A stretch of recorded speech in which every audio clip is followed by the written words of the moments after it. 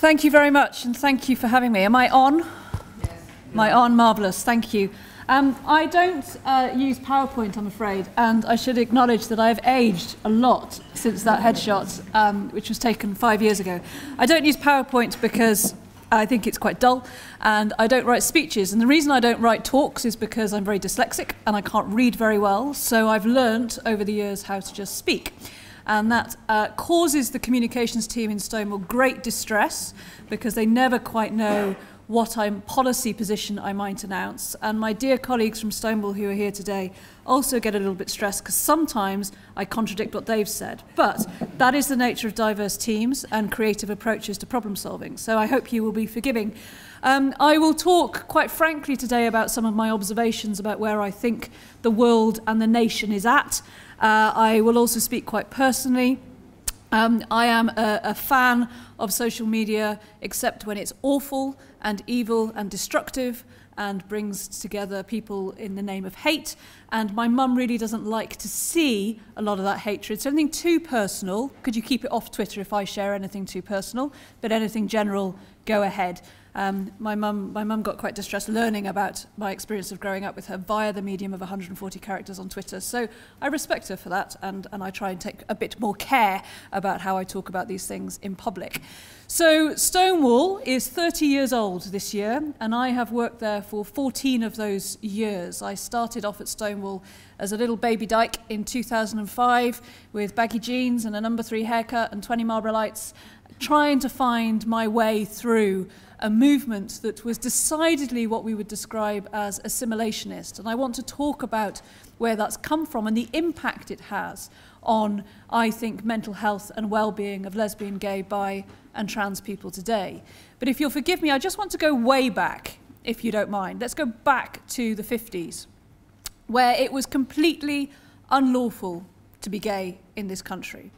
Men were actively persecuted for same-sex relationships. They were accused of uh, soliciting. There were dubious claims made against them, and they were hounded by the state and by the forces that were supposed to protect them.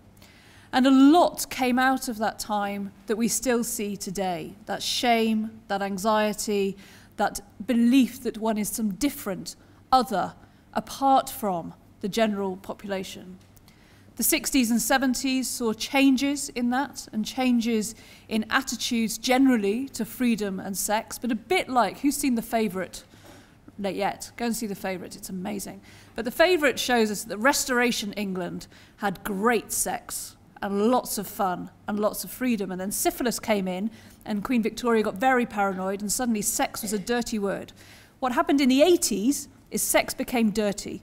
And sex became dirty because of HIV, and AIDS, where gay men and men who had sex with men were thought to be wholly responsible for this disease and what was happening. And what happened in those, that late stage of the 80s is that the NHS didn't quite know what to do. The government at the time sent round leaflets with big gravestones on it that basically said, being gay will kill you and kill other people too.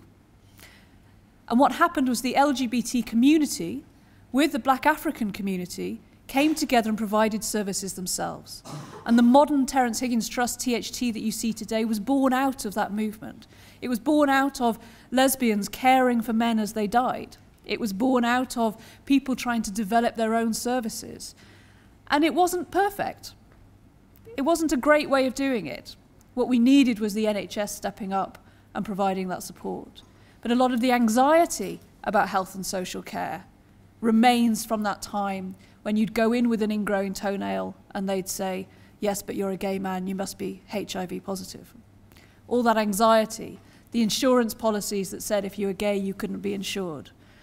Your workplace that could discriminate against you and fire you for being lesbian, gay, bisexual or trans.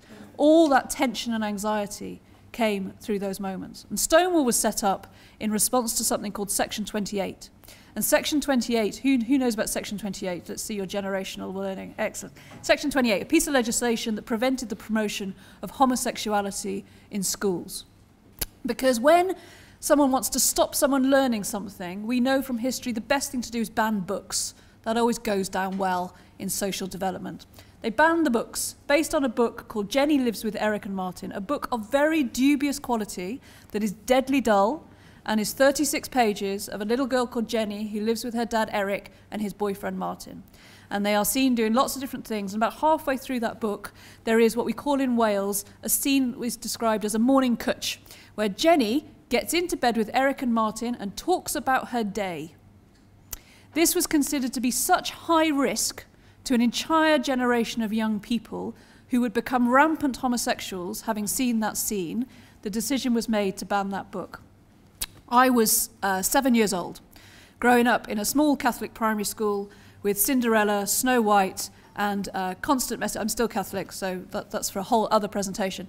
Uh, constant messages of heterosexuality, but despite that, I still managed to come out as a lesbian. So we, we believe that literature doesn't turn anybody anything and actually just creates a better environment. But Stonewall was set up. Ian McKellen, uh, Gandalf or Magneto, depending on your cultural reference point, uh, got together with Michael Cashman, Lisa Power, and set up Stonewall. And Stonewall was intended to be a purely non-democratic lobbying organisation that would do everything it could to achieve full legal equality for lesbian, gay and bi people. At the time, a trans movement was burgeoning uh, called Press for Change. And what was happening in trans communities is that if you were rich enough and you had enough kind of resources, you could transition without too much hassle. And then a woman took uh, her husband to court for a divorce, and the judge said, You're not a woman, you were born a man, and therefore your marriage wasn't even valid. And thus the informal rights that had been understood and held by trans people were suddenly eradicated. So Press for Change pursued legislative change, and Stonewall pursued legislative change, and the two of us worked simultaneously to make the world a better place. And it was pretty rough. So we had a generation of older men who'd been told that everything they did was illegal.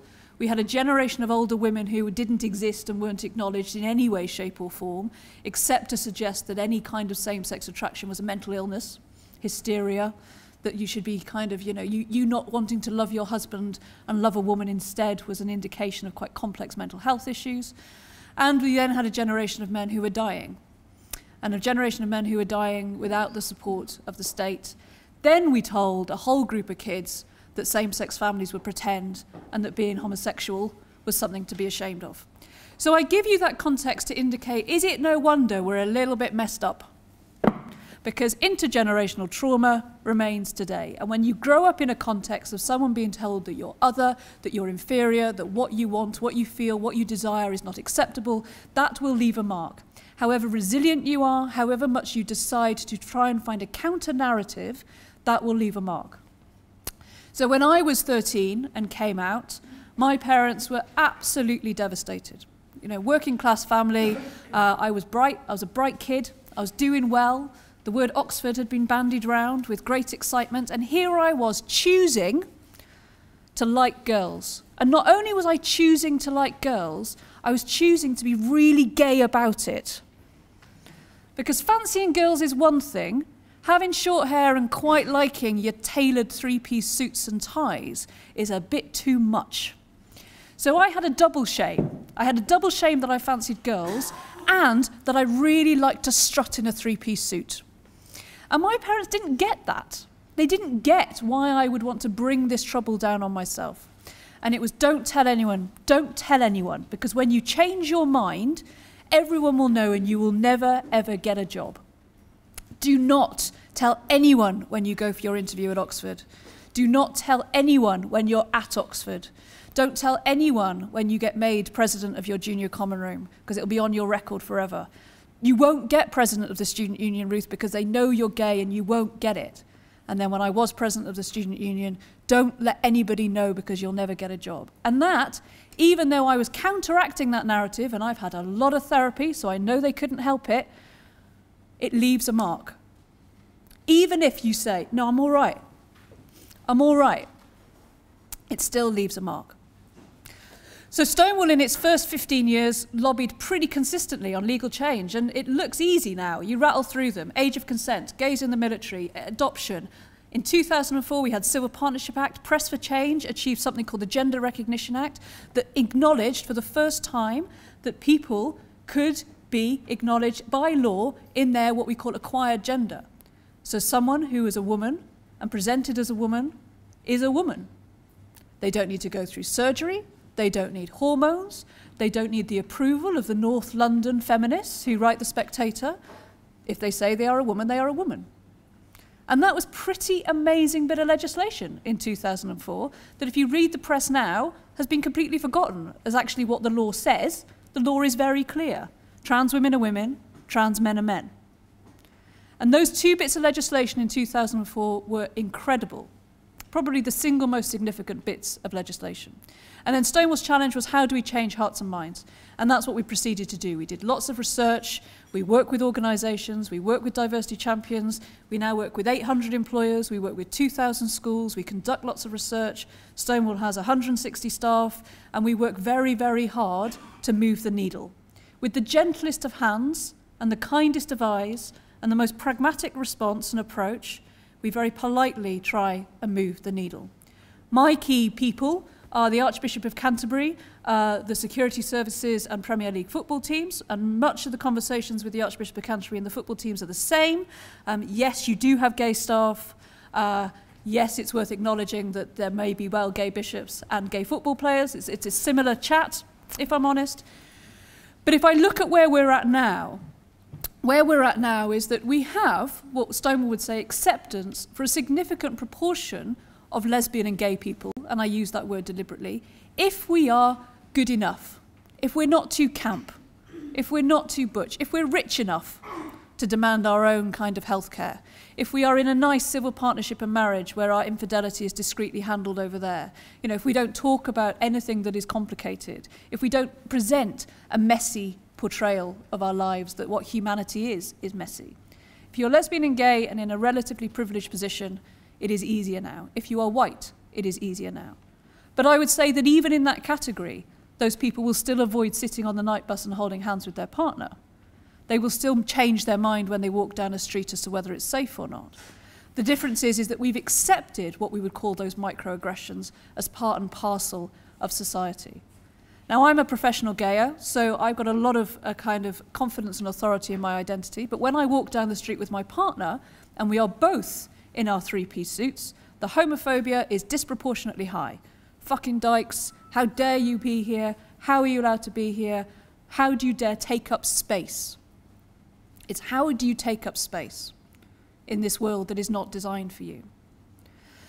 Bi communities, as you heard from that research then, do not disclose and are often dismissed and are told that what they are is pretend and they haven't made up their mind yet.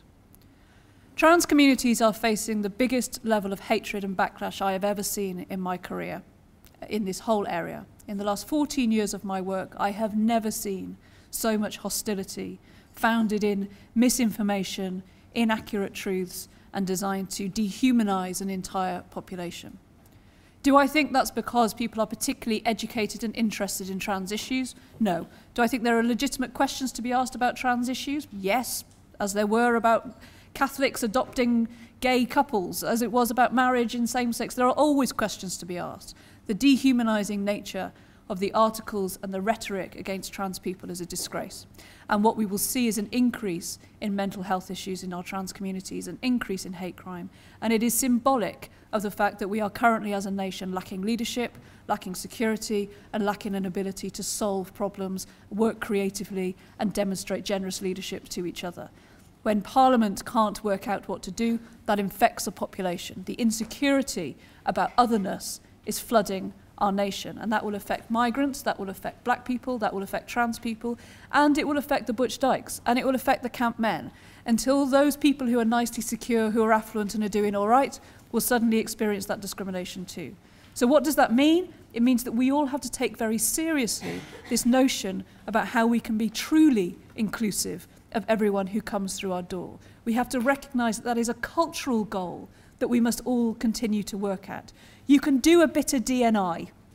You can do your women last week and your gay this week, and let's do a bit of trans next week. But in fact, unless you are thinking very seriously about reforming your entire cultural approach to generous leadership, inclusive leadership, enabling everybody to find a voice and play a role, that culture will seep into everything.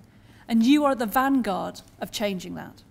So I would leave you with just a final message in that I'm a frequent flyer of the NHS. I have a diagnosis called sarcoidosis, which means that uh, the NHS thinks I sometimes have lymphoma and sometimes think I have a cough. And, and we kind of just work, work on that basis.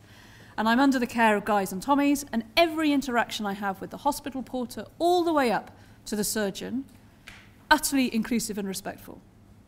Except I got a letter from one consultant who said her friend came along and was very supportive. And it killed me because my friend was clearly my partner, and my partner was clearly sat there saying, Does she have lymphoma? do we need to do something about this? She wasn't my friend who was supportive, and it broke my heart. It doesn't take much to get the language right. It doesn't take much to say, Who do you have at home? instead of, Is, there a, is your boyfriend coming with you? We ask about bowel movements, we ask about last menstrual cycles, we ask about everything under the sun. We can say, Who do you have at home? And for someone who is heterosexual, they will not notice. But I promise you, for someone who is in a same sex relationship, that is a lifeline that can absolutely change that interaction and that relationship with that health professional. So thank you for all you're doing. Thank you for all you're going to learn today. Stonewall is here for you in all sorts of ways whenever you need us. We're working things out too on some areas, and together I think we can genuinely try and counteract the wave of hatred that is coming across this country and make the world a better place. Thank you very much.